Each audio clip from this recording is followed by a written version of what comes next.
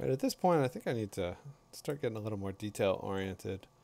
Uh, I feel like my placement is pretty good. There's some value stuff that's kind of rough, but I think at this point I need to start working on uh, a more microscopic level. So I am going to create a new layer and I'm actually going to go back into drawing because again, like, you know, drawing is painting and painting is drawing. And if you think of this as like color pencils, you know, it's so much easier now to just draw with a single a single thing. Uh, I'm going to set this up so that I have a better view. And so um, a couple of view hotkeys you might not know. Oh, let's start Karnak. So some hotkeys you might not know are that tab hides your UI.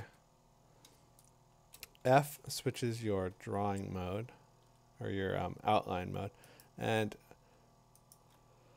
I'm going to use arrange new window for this. And so this basically creates two versions of the same document. And I can set them to be to a vertical. So over here, I can go over like that and start looking at some sort of tiny detail. Traditionally in painting, you'd start at the very top.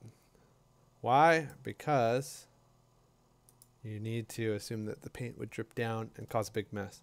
I'm actually going to set this view, I'm going to cheat a little bit by having my view be the same.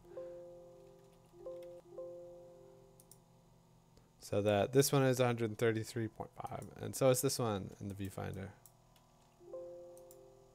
There we are.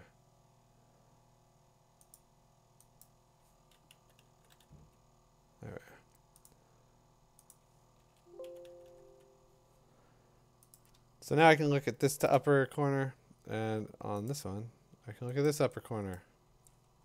We can start to sort of micromanage this. And you can see that uh, a lot of this is pretty close. And now I'm just going to keep doing that same stupid infinite layers thing that I've talked about. But I can start being a little more uh, precocious about you know certain shapes and it's really just a master copy within a master copy at this point it's still good to think about on this microscopic level. What are the big problems with this? Maybe some of it is where the values are. Something like, I should also make sure that this is in the right corner. Listen up. Because, again, I still have to line up my, what's it called? I should still be looking for some sort of universal theory of uh, where my plumb lines are. So I'm looking at this and I'm thinking, where is this intersection on the side?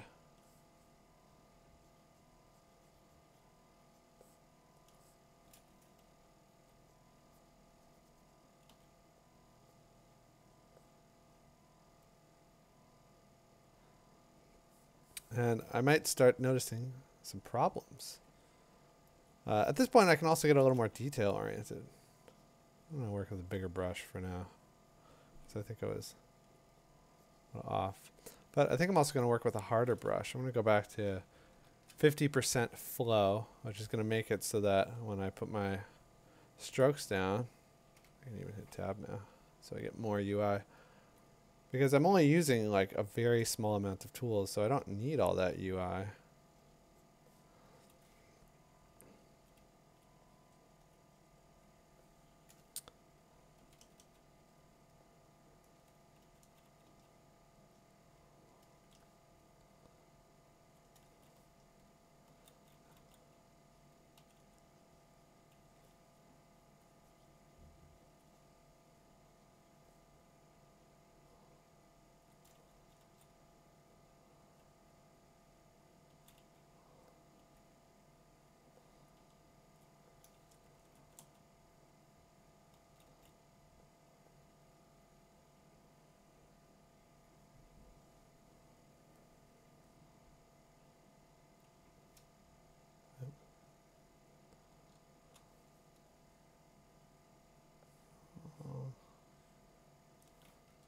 Actually, that's a good thing to do. I go definitely up to that corner. Definitely up to that corner. Then on this one, I can use this side scroller.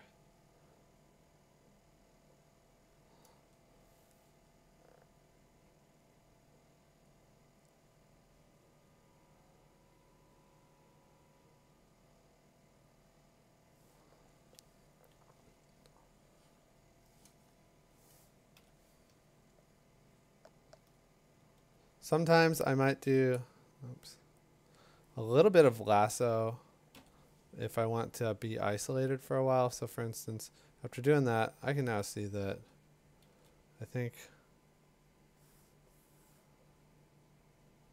this guy is a little too far south and maybe I just want to work on this side area for a little bit. So I can use my lasso tool.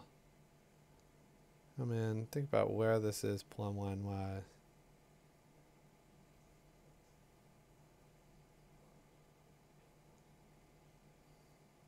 And if I just want a tiny break from not being able to paint within the lines, this gives me a little break.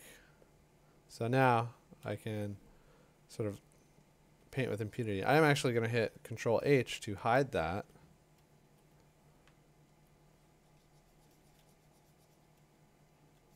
But even though it's hidden, it's still there.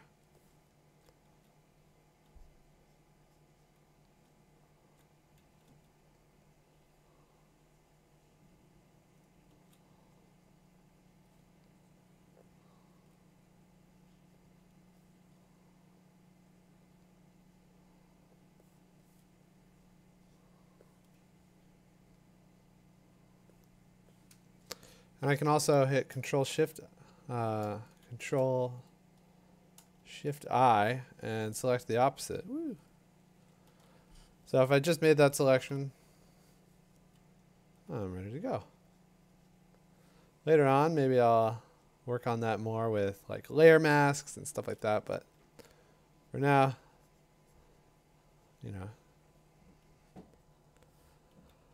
it's sort of the interesting thing about digital painting is Photoshop has all these little hotkeys and whiz bangs that are really fun and new features that mean you gotta keep paying 20 bucks a month.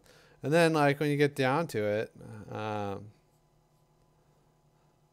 you know, a lot of times you're trying to be in the zone when you paint and if you have too many features, they just end up, that's too dark, too light if you have too many new features and too many buttons that you have to memorize, um, you're going to get frustrated and just uh, lose the um,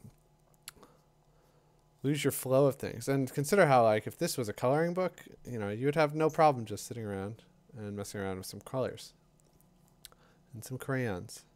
Something like this, where I overpainted the value here, I can now go over it with some sort of medium color and it'll soften the blacks and the lights at the same time.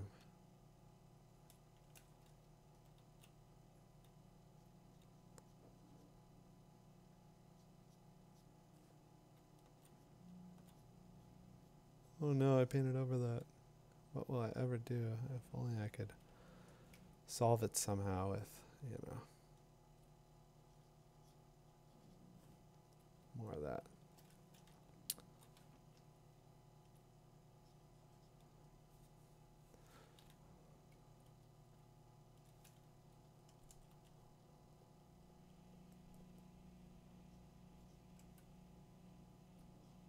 And a lot of times, if you squint, if you take your glasses off, you can paint the big color first.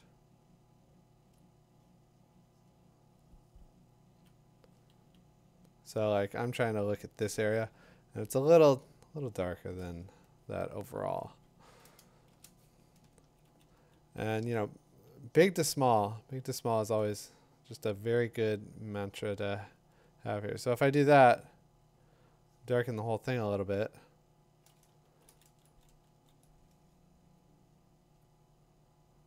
Missed this little side thing here.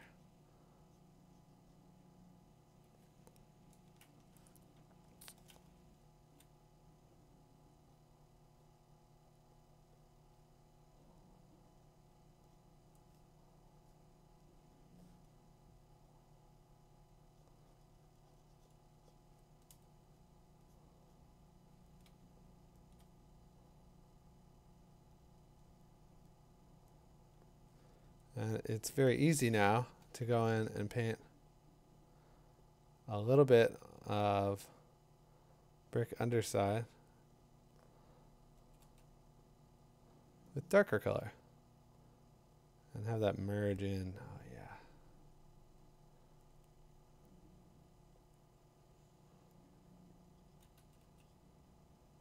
And it's starting to work, right? Every once in a while, it just starts to pop into place a little better. Yeah, pat yourself on the back. Maybe this is another place I will hit Control D because believe it or not, I've been selecting things the entire time. And I'm now going to select this sort of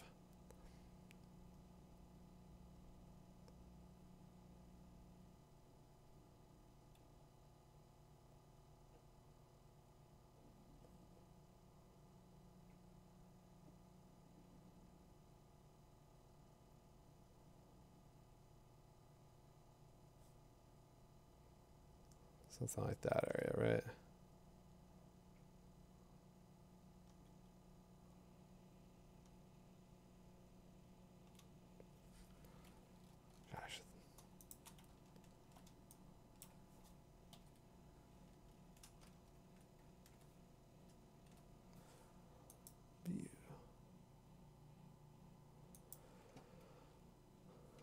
Again, it's so easy to suddenly find yourself zoomed in on one area and therefore in the wrong place. Set this to like 150. 150.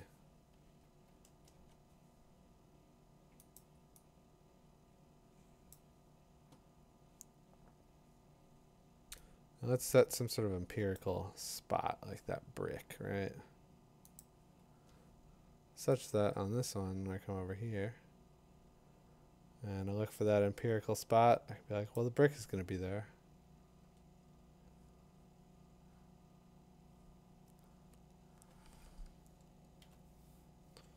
add to that selection a little more. I can hold shift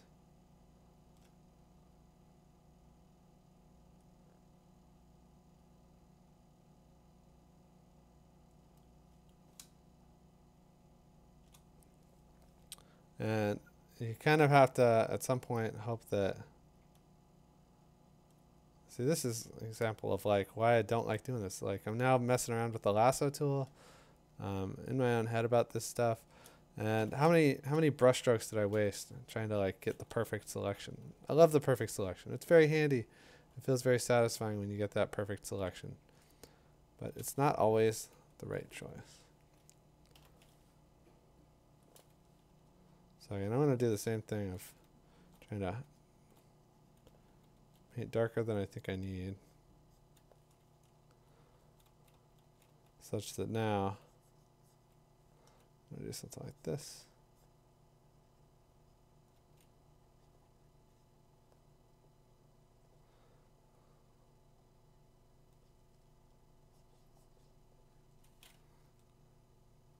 My flow is 10%. I'm going to set it back to 30%.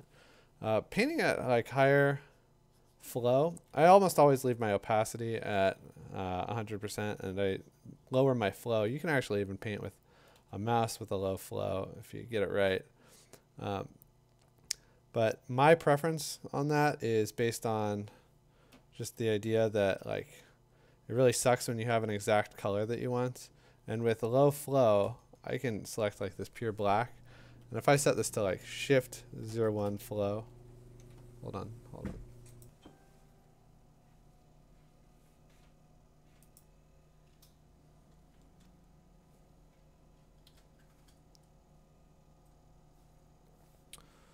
So I don't want to hide those dancing ants.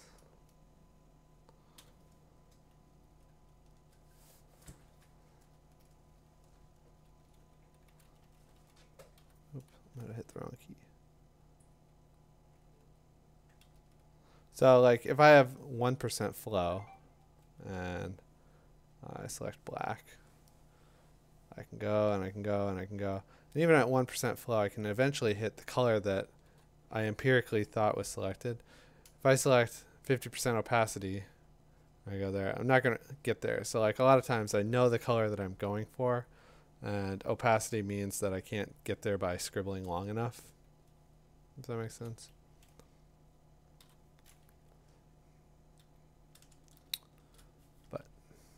I'm gonna go high opacity, high flow. And let's just do the thing of like, sometimes uh, I really like getting the details in too hard.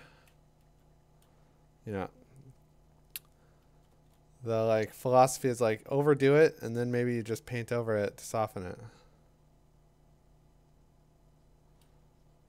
Which again, I think comes from like painting real paint. You get this sense of uh, how like you put it down wet and then uh, you have like a little bit of time where you have to like mess with it.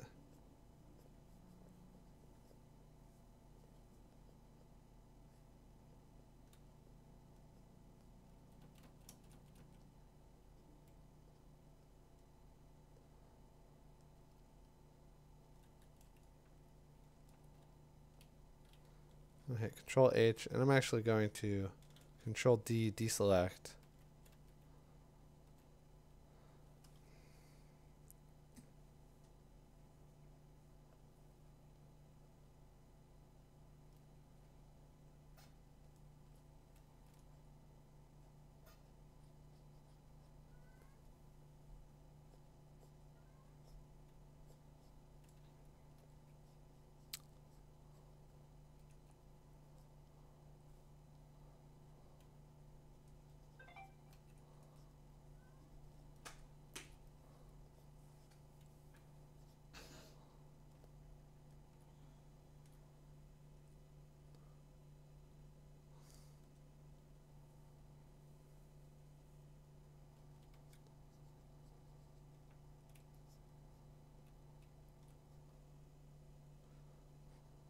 Funny is I, you know, I have this drawing tablet where I can look at the colors and it'll show up.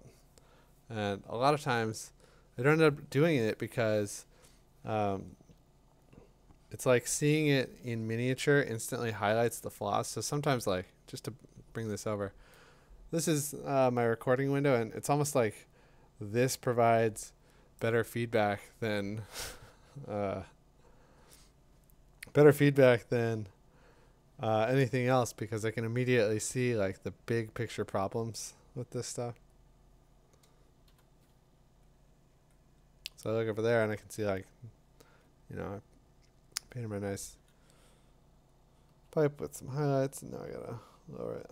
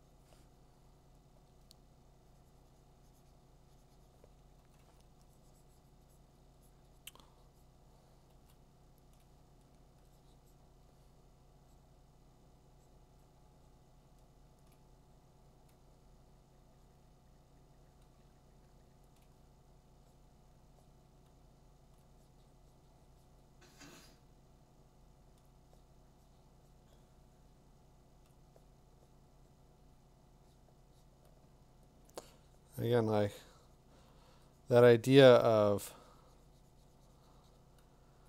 high flow versus low flow, you can use high flow, put a stroke down, and then just color pick to uh, get the midpoint between the two things that you were working on. And have like the same level of accuracy. Oops. You really have to be careful with zooming in and out, though. And that's why, like, this early stage where you just made sure your placement was pretty good is very, very important. I feel like I'm going to focus on this area because this is obviously the focal point. And there's so much good detail that I have clearly neglected. So I'm going to use that idea of like, maybe I can use this idea of like the boundaries of this column as my perfect placement sensibility. Like the arch is touching the top here. I can barely see these two columns. Now I know what I need to do on this side. I'm going to check it on the viewfinder though.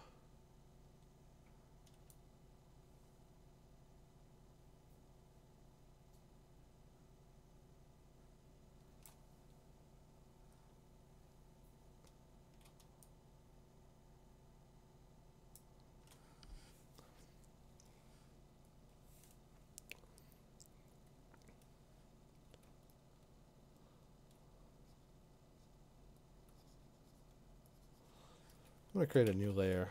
Never hurts. Especially with this layers as your undo stack sensibility.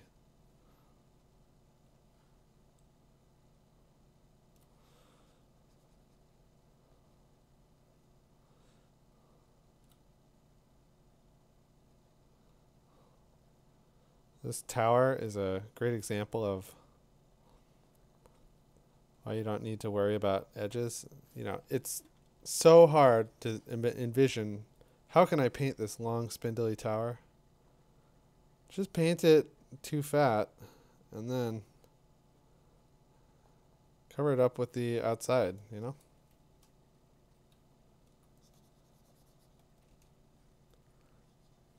If you do have a light up monitor or um, a tablet that has a monitor, an iPad or something, uh, make sure that you occasionally jump over and look at it on your actual computer monitor.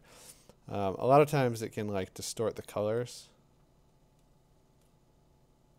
And, you know, they're trying to do two things at once with these things, although the iPad is largely considered the best as far as good display technology that you can trust color wise.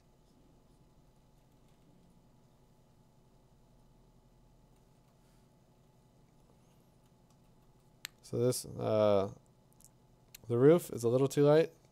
Let's just put a, or a little too dark, so I just put a stroke that is a little too light in there.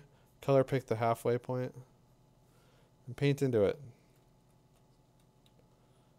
I'm not saying this is the best way to paint, guys, but I am saying that it's really nice to not feel limited by the amount of buttons in Photoshop that you need and like I feel like if you learn, you know, again, one of the things I love about an old painter like this that you study when you do a master copy is that this is somebody who um, essentially made this painting pushing dirt and mud around with a stick.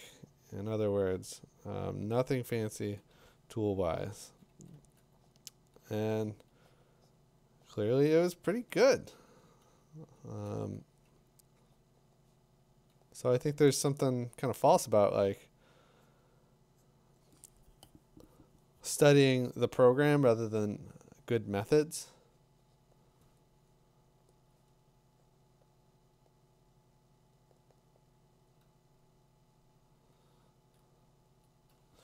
These sort of turrets in the background, that's a good place to hold shift.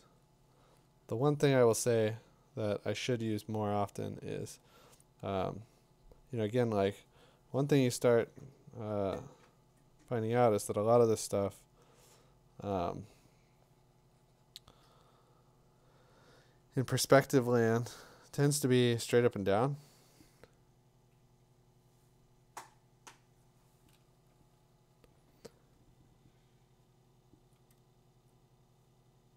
So if you hold shift, it'll paint a straight line which is kind of handy for anything from this tree, because guess what? Trees grow straight up and down.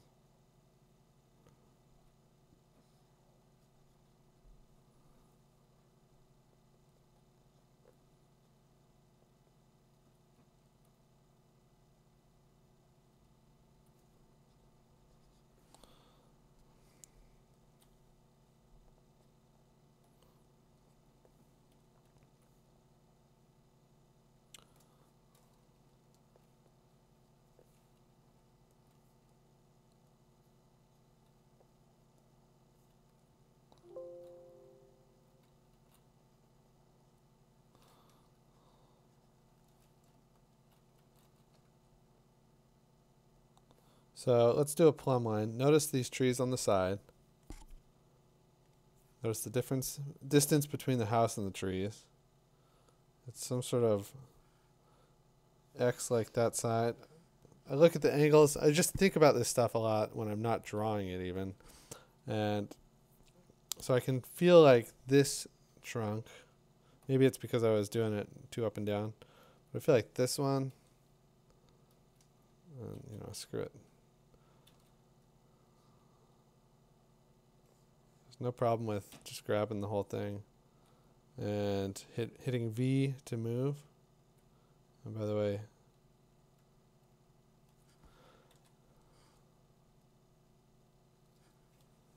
yeah, never mind. I could solve this by I wanted to just copy and paste it all and but now I have all these layers and some of this tree stuff is on the wrong layer. You can see some of this is already back there. So why not just create a little save state where I duplicate it all and I hit Control E to merge it.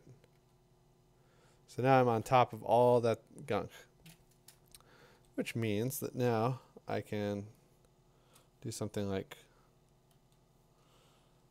oh where was I? Again, I'm using like the size of the arch as my guide for how tall, tall or short to make this. But now I could go in with my lasso tool. And if I think this is a little too off, I can just move it. So based on that lasso tool coming down, I think this actually is a matter of, well, let's get this archway right, because I feel like that's important for a lot of this. Accidentally hit caps lock. So I consider this little triangle there, that little start of the arch. Consider where it's at its topmost point. Consider how you would make that some sort of X. And now I can see that this is like kind of way off in some ways.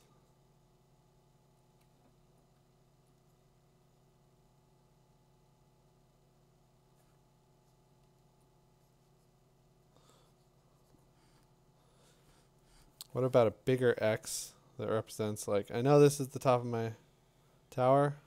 Goes from about there to there.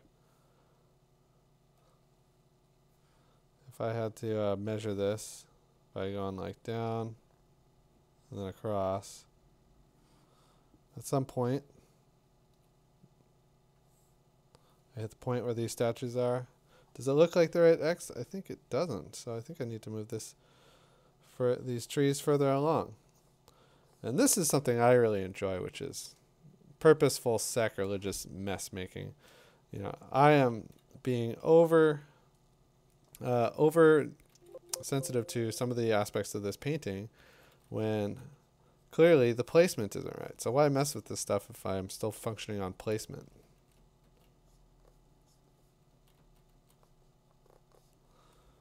So be brave, knock the whole thing out. And now I can follow this plumb line and you see where those trees end up intersecting with the statues over here.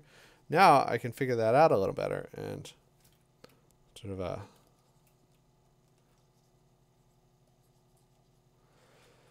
start to get it in place. So it's kind of like right there.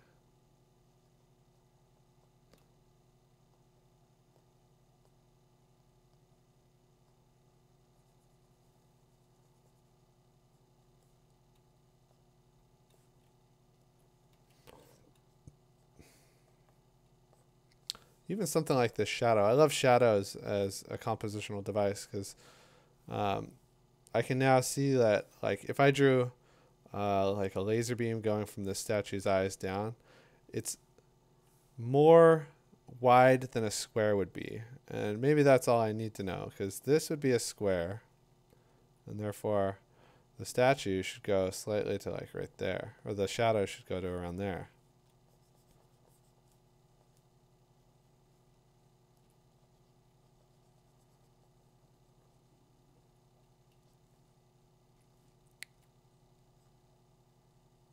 Oops. I'm using the top of this Colonnade is my measurement.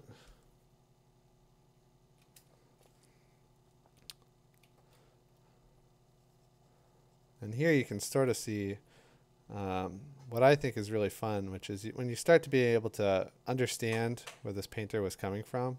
So here you can sort of start to see a lot of the perspective work. So this probably was something that was laid out as a grid. It was probably plotted as a grid. And um, here we are sort of not following that. We're doing it as empirical perspective where we think through it as instead something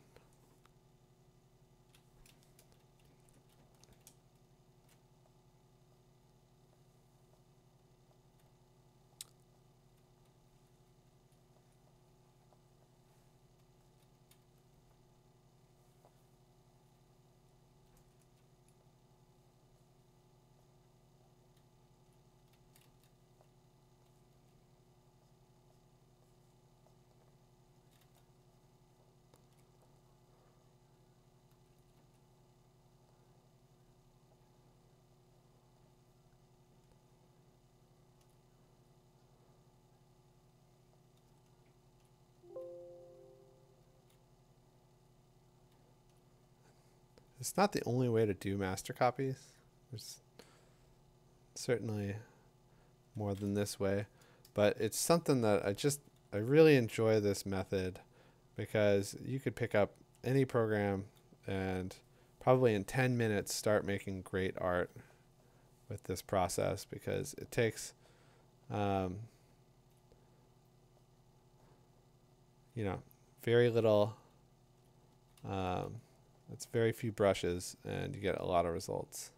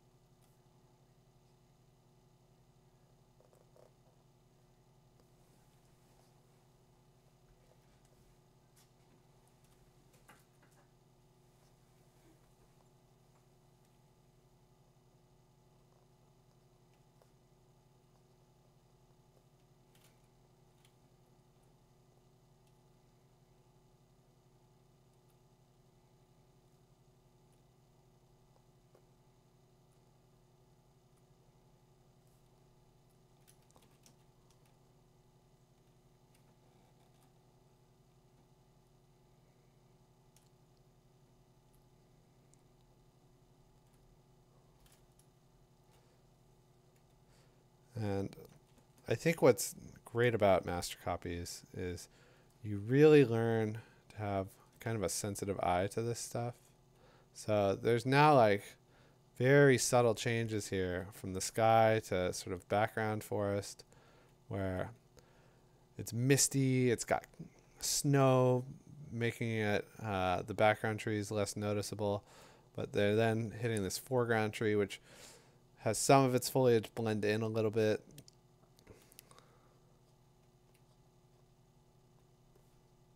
I'm not going to do like all the foliage because that's sort of a last step, I think.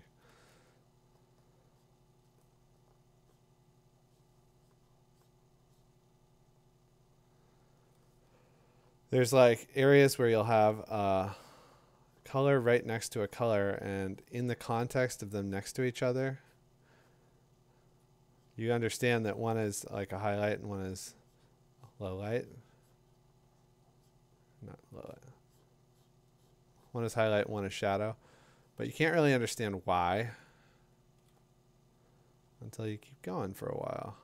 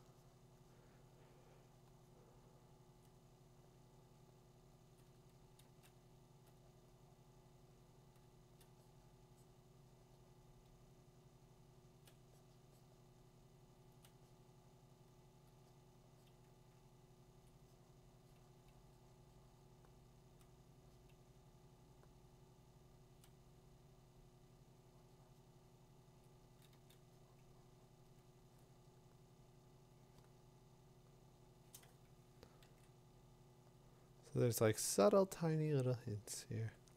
And see how easy it is to just toss them in after the fact, as opposed to like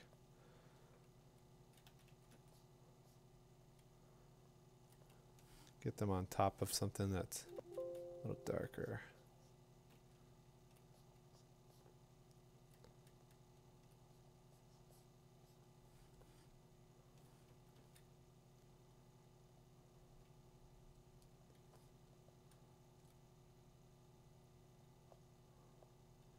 Some of this like detail work, the modeling. Don't get lost in that stuff yet.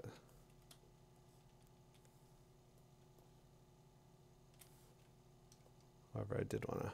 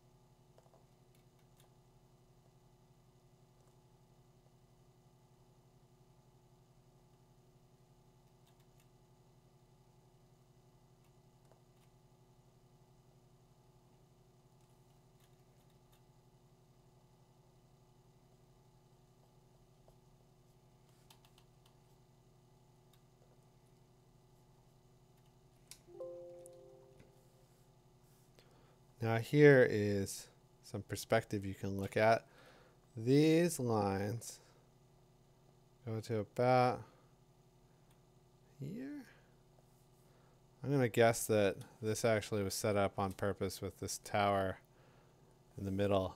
And uh, what that to me means is something where it's like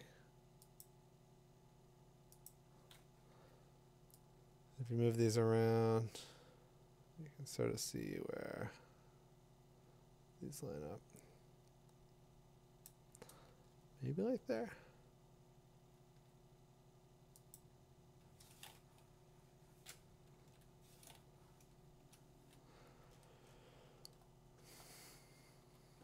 Let's create a new layer.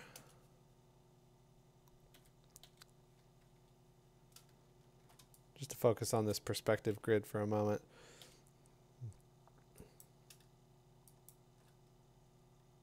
I gotta put it above this.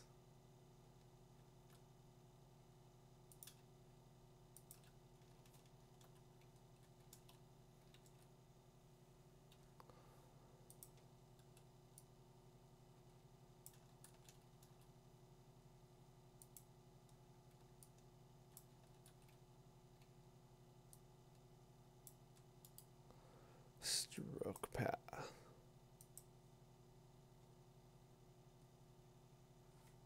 Hey, what's wrong with the pencil?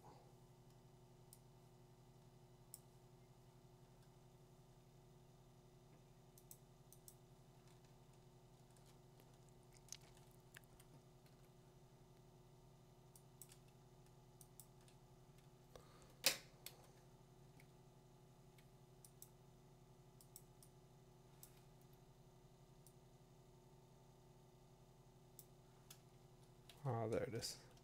It was hidden. We'll just do it the easy way. So, somewhere around here.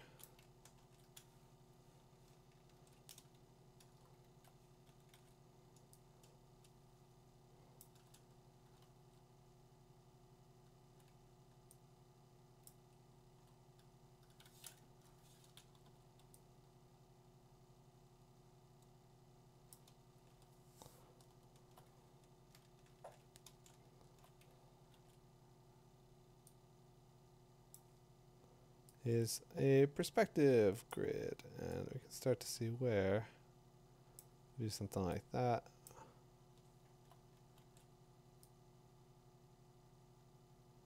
and line it up with things like that And I think it's actually this guy. Yeah, that's probably it. Because you know what? Sometimes you start realizing these artists are cheating when you do this.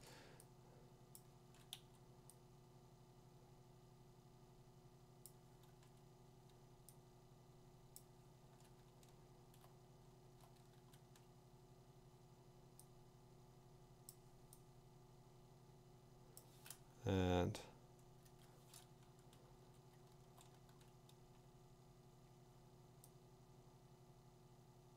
probably like 10 different better ways to set this up.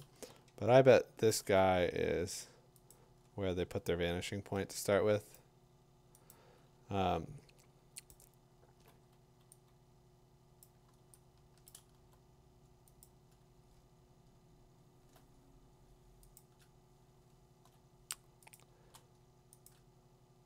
yeah, looks pretty right to me. Even something like this. And this can tell us a couple of things about uh, the composition. So I think maybe the last critique of the perspective grid is maybe it's a little higher up.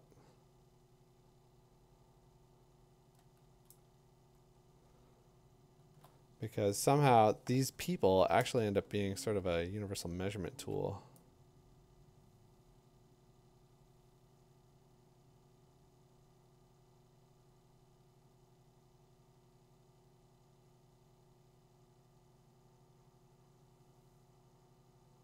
Where it's like, yeah, I think it's around here. A person is measurement. And so you can have something like this where this person is roughly uh, halfway to the horizon. This person's roughly halfway to the horizon. This person's roughly halfway to the horizon. And as a result, you have some sort of universal measurement that works out. Or they just eyeballed it. I don't know.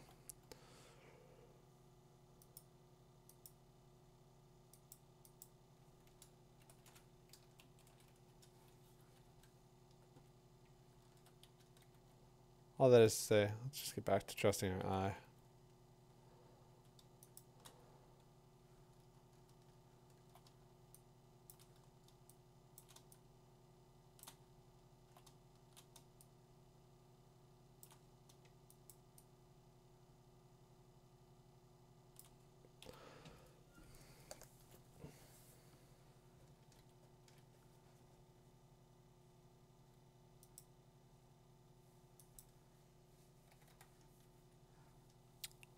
These the same size.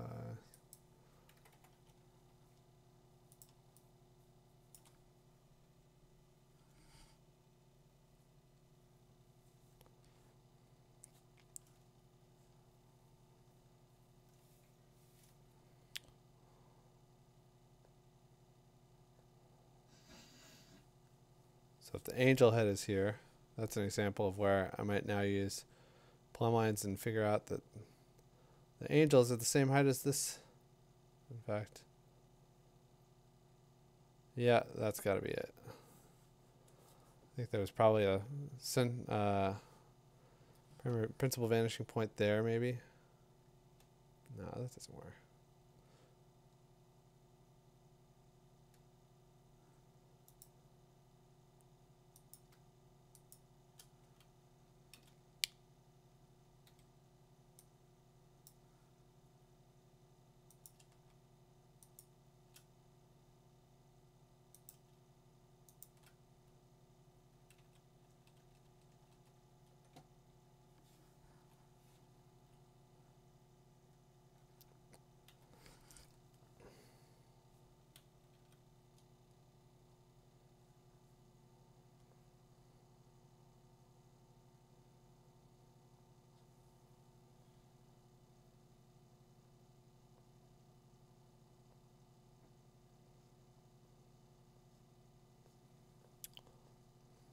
I'm using the pen or the pencil tool right now and I'm overdoing it because again now I'm starting to get to the point where I need to get some of these mini figures in and I need to just comp out exactly where they are so that when I start painting them I have that accurate sense of placement.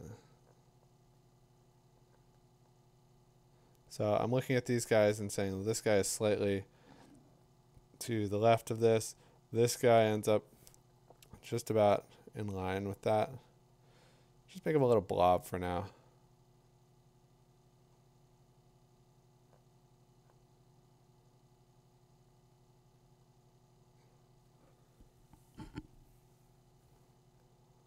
This guy here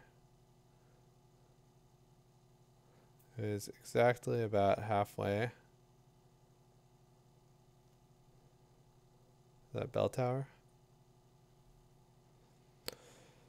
Again, you guys have seen how I just like to run roughshod over my own previous uh, lay-in, and so I don't really worry about these pen marks or these like extra guides being overdone. Like I'm trying to, you know, it's actually oftentimes like destructive on purpose where I want to plan ahead for the day when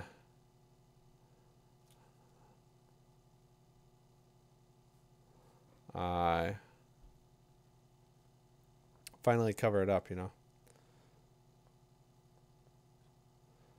You know, I think what's going on here is some of this perspective is kind of harder to hit, specifically because look at this statue directly on that line.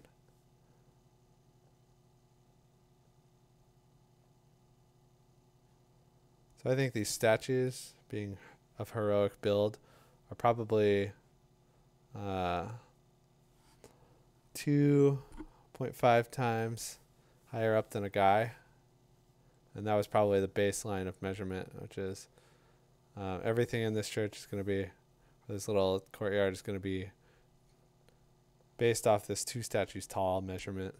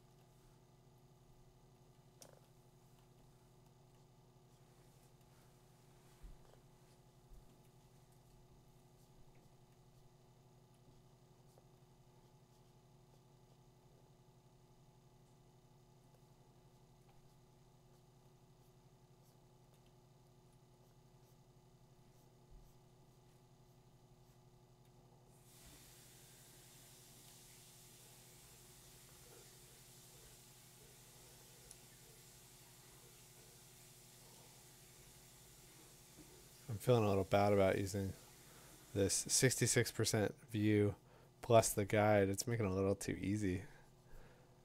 This isn't my eye trust anymore.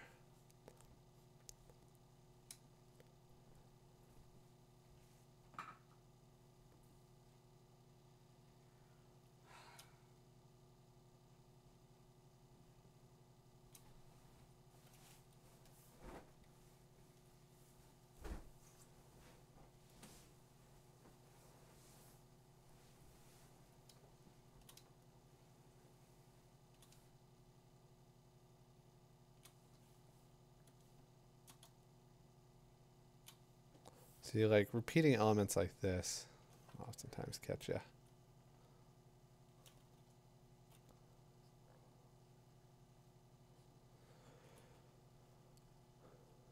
So when you work on these, try and think like, um,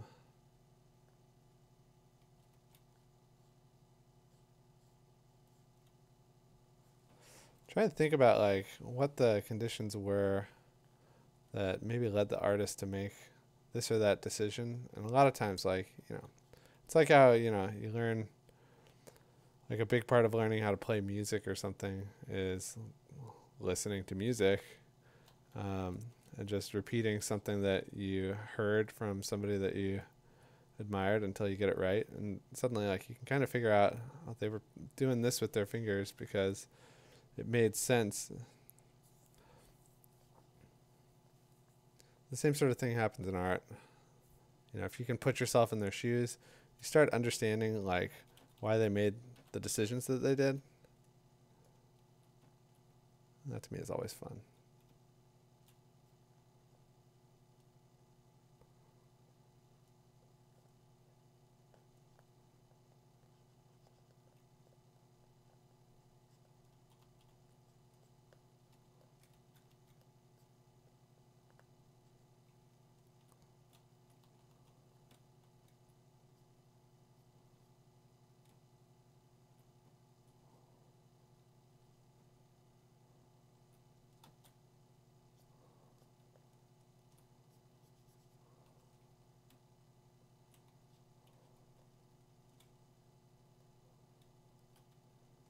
Placeholder tree right now. I'll get to it someday, but for now I want to try and figure out the difference between these.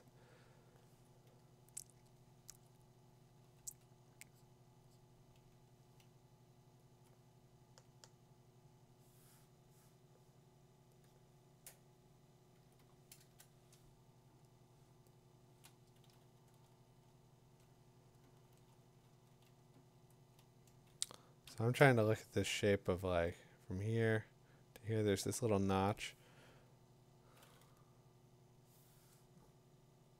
Accidentally created a pen.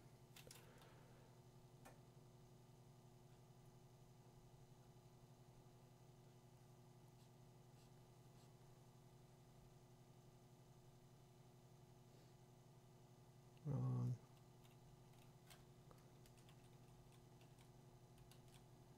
Ew, gross. Undoing. I'm very upset that I did that. Not the strokes. I'm upset that I did an undo. Again, it's like such a bad habit. And it takes a long time to break. I'm trying to get this sense of like.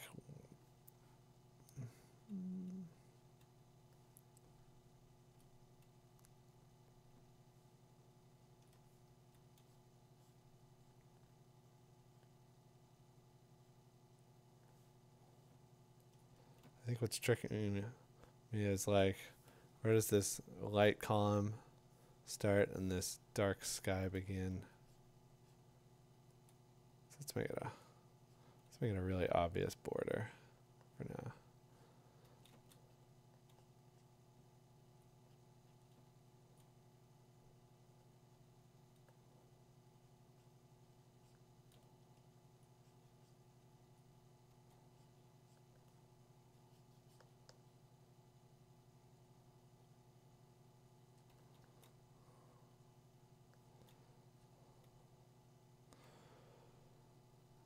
If you get tripped up by something like that, just keep painting.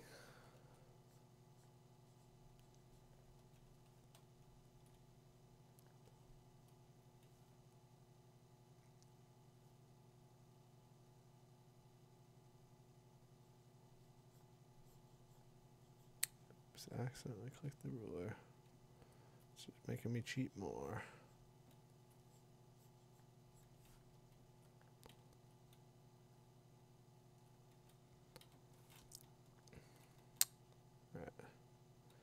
Now that I'm feeling a little safer in there, I'm going to do some line art.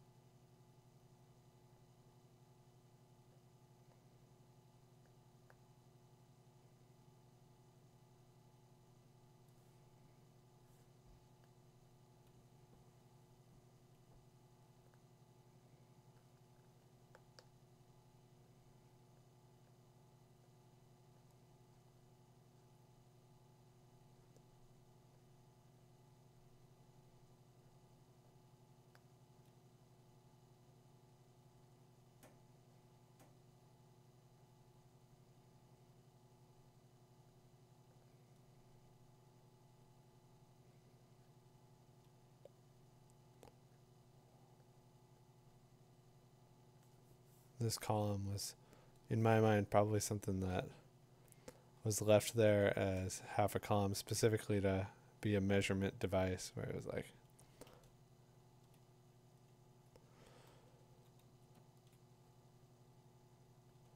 that much.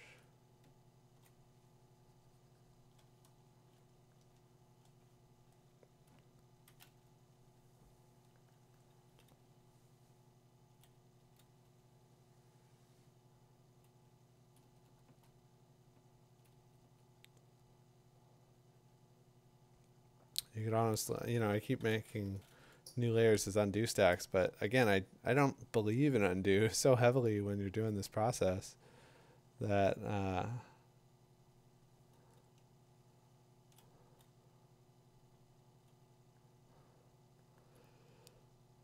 it's like uh, I could probably do this in a single layer, uh, and in in the past I've done that as like sort of a uh, game of chicken where I've challenged students do the entire thing with one layer and set your undo stack to three so that you can never undo. You got to break that habit, guys.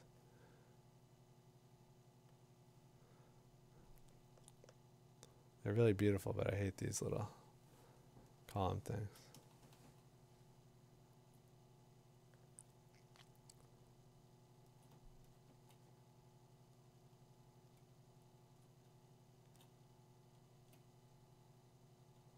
Look at this. I've got a literal guide here telling me that this uh, statue is a certain height. And we still don't trust it. We still end up giving it a bigger head than it needs.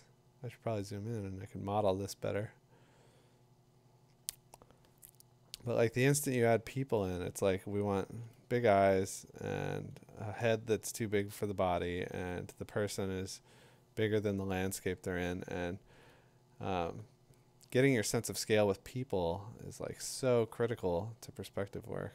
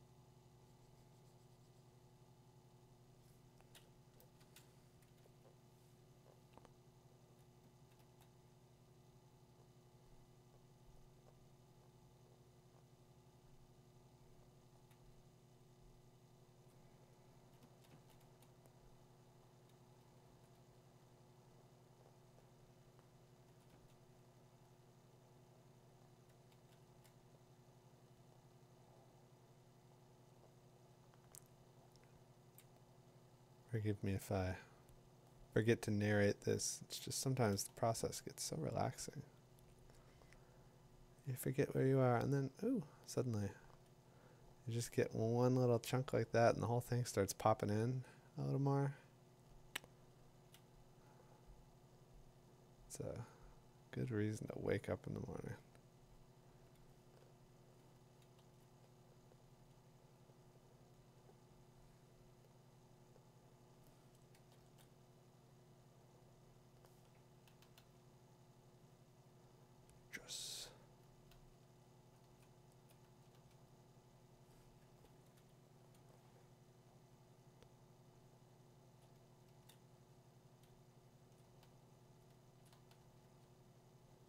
So all the time I do those like fake strokes where I put it down just to color pick the halfway point between it and its neighbor.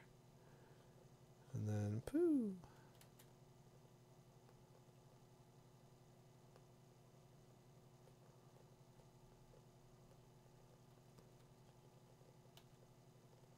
I hope you get in the zone when you're doing this. It's such a satisfying. It's, it's a silly thing, but it's something I think is like important almost on like a mental health level. Like being in the zone is so fun. And it takes a lot of, you know, you got to spend a little time organizing the elements around you so that you can get there. Let's check the whole thing.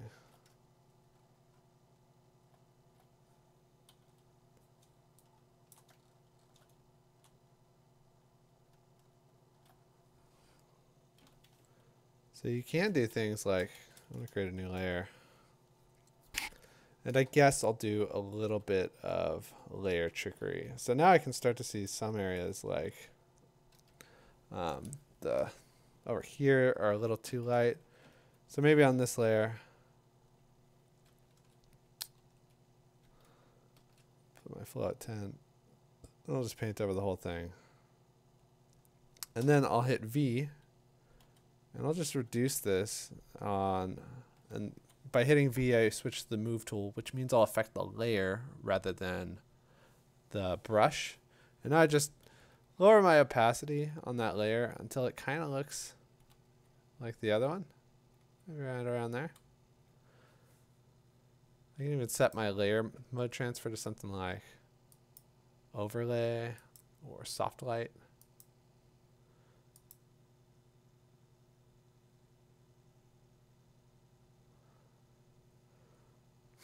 These are the lighteners.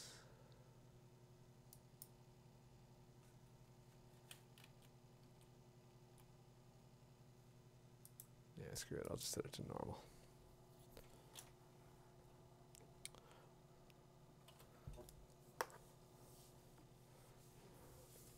And then just keep doing that, you know?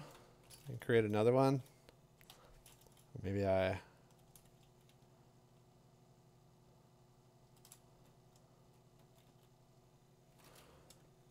I'll set this to overlay. Hit V and then Alt Shift O for overlay, which is the same as changing it over here. And now I can do like larger transfers. And this is also something that if you want a more line art oriented pipeline, you can do this. Brush. Where are you, brush?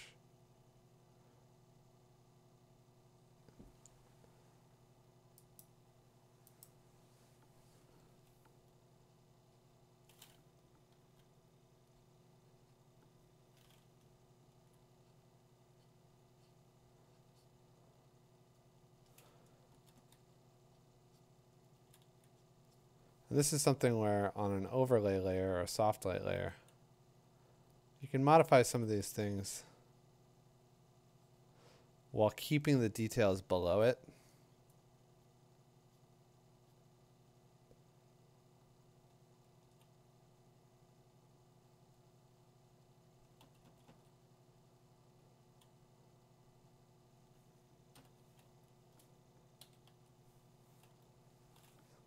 An overlay will both lighten and darken. So something like here, I can actually try using like a soft brush. Very tiny amounts of black. Just bring those corners out a little more.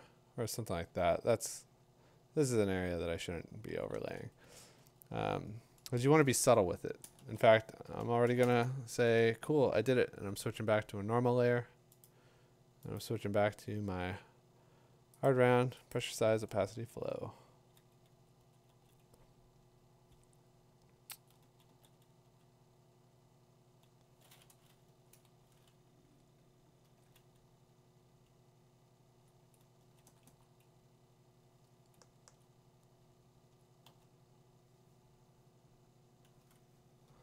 Go back to single window mode. Since I'm doing less of that detail stuff.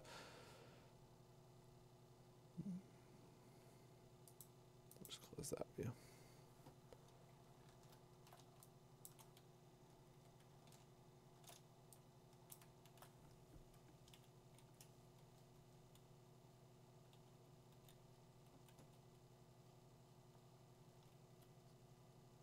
Oops, my brush is set to overlay.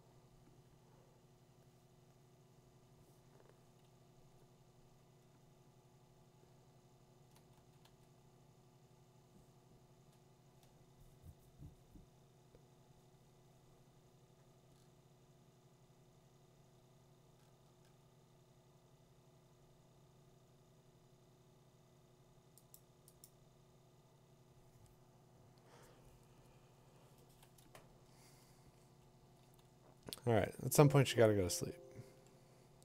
So I think that's pretty good for now.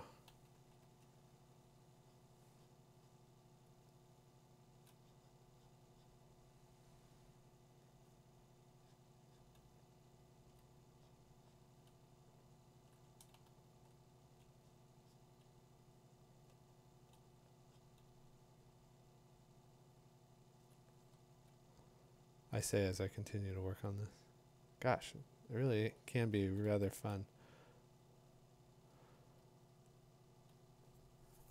Something like a lot of this brick texture. It's fun. But one last thing. Let's just check this. Let's see how well this worked out. I'm going to set this to difference. And on this layer, unlock it.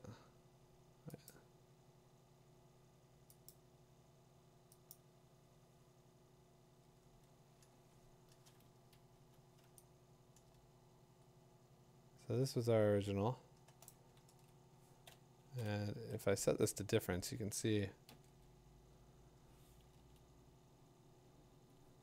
some of the difference right there if I invert it. So if I pull it over here, I'll turn snapping on.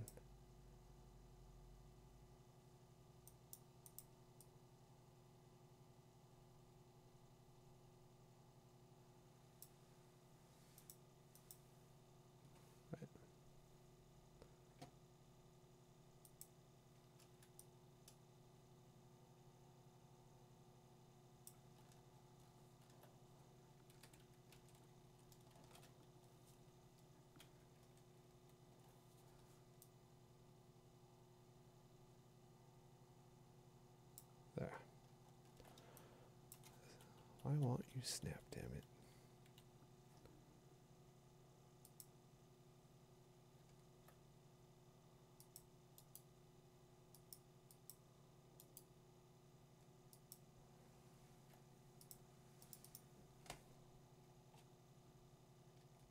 Oh, that's the original.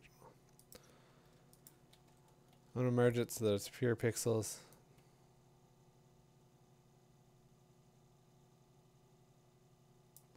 Let's see how close I got.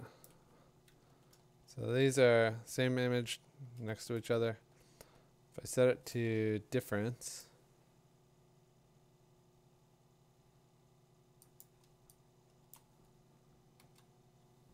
Remember, this sorts of, sort of tells you where you got it right and where you got it wrong. It's like I have a little bit of the towers being off. Feature creep there.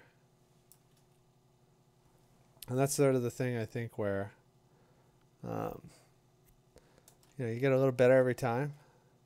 Some of this placement I got right, but like the tower height, some of these guys.